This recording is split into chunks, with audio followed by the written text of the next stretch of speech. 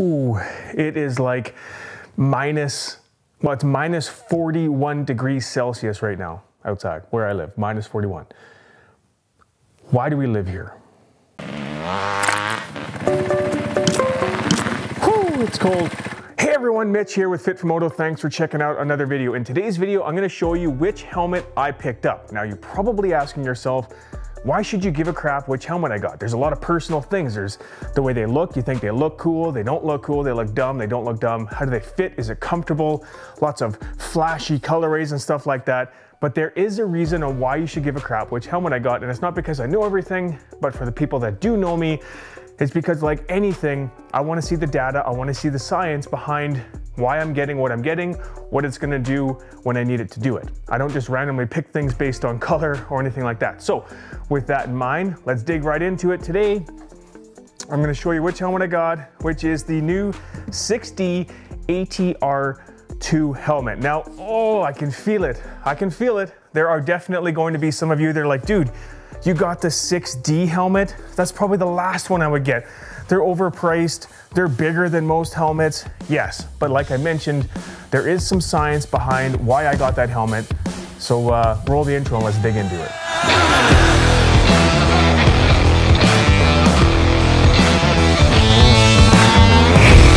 All right, so as you're probably familiar with any type of helmet, there are different safety ratings. And now you probably know of the DOT and the Snell safety rating.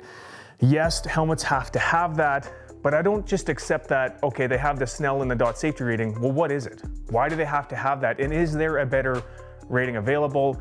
What helmets are going to be the safest ones? Because let's face it, when you're talking about a helmet of any kind, its primary job is saving your noodle. And to me, that's worth all the money in the world. I'm not going to pick up a cheap helmet thinking that it's going to save my head during some of those bigger impacts. And I would suggest that you should spend the money on a better quality helmet. So with that in mind, let's talk about some of the certifications. Like I mentioned, I'm a bit of a nerd, so we are busting out the whiteboard and that's when you know things are getting serious. Now, for the time being, pay no attention to this bottom part, just pay attention to the top number. Now, in 1972, the HIC equation was developed, and that is for uh, the DOT and the Snell certification. So if you see a DOT and a Snell certification, like is on this MSR helmet on the back here, it says DOT, it has gone through this HIC equation. Now you don't need to know what all these numbers and all this massive mumble jumble here are. What you do need to understand is the strength of the impact and the time involved in that impact is going to give you a higher number. The higher the number, the more likely you are to get a fractured skull. And that's really what the HIC number deals with is fractured skulls because they use a bunch of cadavers and they just smash the crap out of their heads to figure out what kind of um, velocity and stuff like that is going to cause some kind of fractured skull, you know, by car manufacturers and things like that. This, this equation is from 1972, and that is what the DOT and the Snell certifications are based off of it's ancient. Well, what it doesn't take into account either are things like concussions. When your brain is sloshing around inside your head, this HIC number, it doesn't account for that. Well, times have changed, which is why they've come up with the, oh, my B kind of got messed up here. They come up with something called the BRIC number. Now with the BRIC number, it does take into account the brain sloshing around inside the, around inside the head. And the way that that number was developed was through scientists, unfortunately, doing a bunch of testing on animals, which I'm not okay with. However, did a bunch of testing on animals and they got some average velocity numbers for the amount of angular velocity of the brain inside the skull. They give them some of these numbers. Again, you don't need to know the whole story behind these equations. What you do need to know is that the BRIC number that was developed in 2013 is completely different than the HIC number, which just deals with fractured skulls.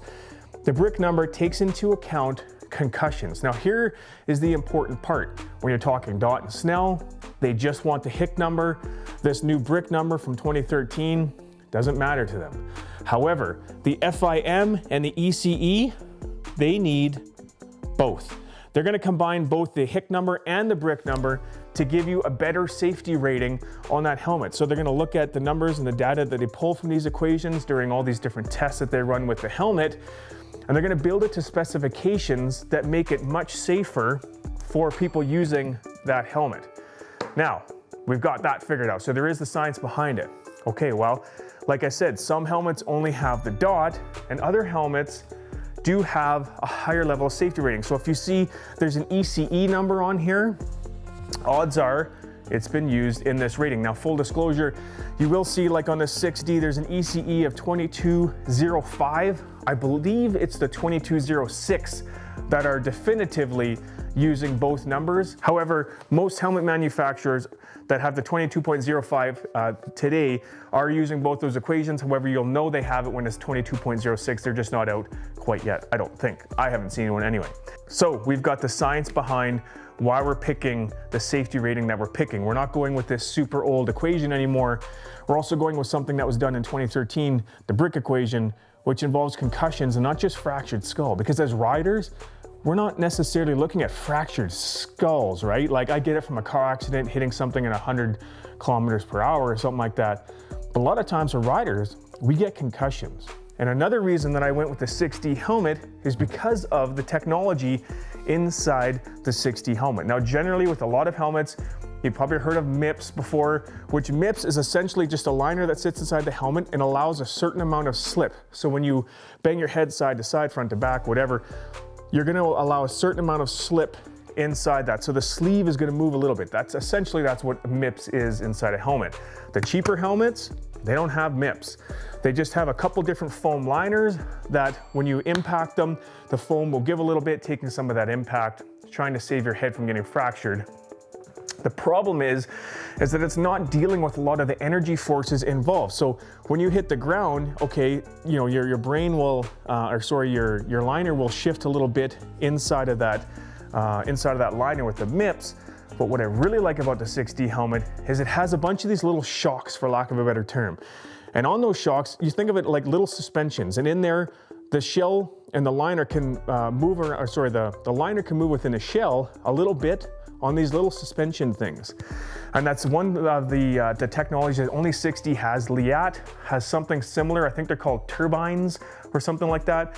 Same type of idea, albeit a little bit different, where the liner where your head sits in, it has a little more freedom to move around inside there. So as you're jostling your head around during an accident, the liner and those little suspensions are going to take a little bit more of those trajectories, those angular velocities and things like that. 6D has that. Uh, some of the cheaper helmets do not have that. The, the helmet that I was wearing when I had my bad crash last year was the uh, Fox V3 helmet. As you can see, it's a little banged up. Uh, it had the fluid inside technology, these little fluid pods that sit all over and they're supposed to mimic your brain fluid. Uh, it does have the ECE 2205 rating on it. Um, I did like this, however, you know, I'm not a scientist. Uh, I don't test helmets for a living, but I do feel like with the new HIC and BRIC equations coming into play, not just the HIC, uh, and given the technology that the 6D helmet does have inside of it, I just feel like this is, for me, this is the safest option. Yes, it's expensive. This helmet, uh, Canadian, is anywhere from a thousand to 1200 bucks. I know, cringeworthy. It's a lot of money, but I do feel like it's worth the money when it comes to saving your brain.